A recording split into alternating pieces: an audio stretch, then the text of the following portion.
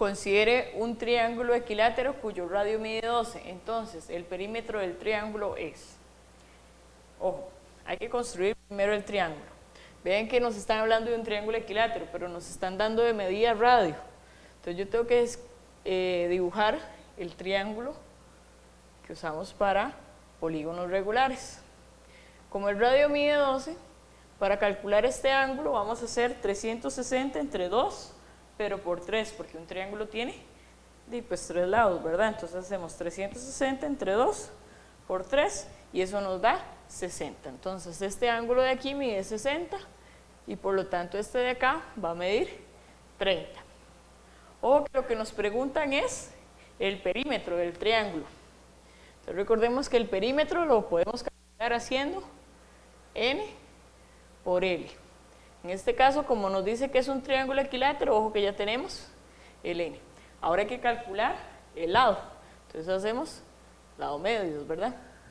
Y aplicando ley de senos tenemos L medios sobre sen de 60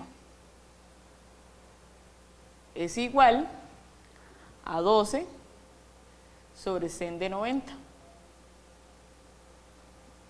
y hacemos shift al 100 entonces decimos fracción fracción x sobre 2 abajo escribimos sen de 60 igual alfa cal fracción nuevamente 12 sobre sen de 90 y hacemos shift cal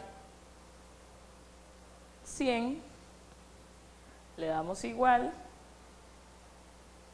Y la calculadora nos va a dar que L es aproximadamente 20,78 ¿de acuerdo?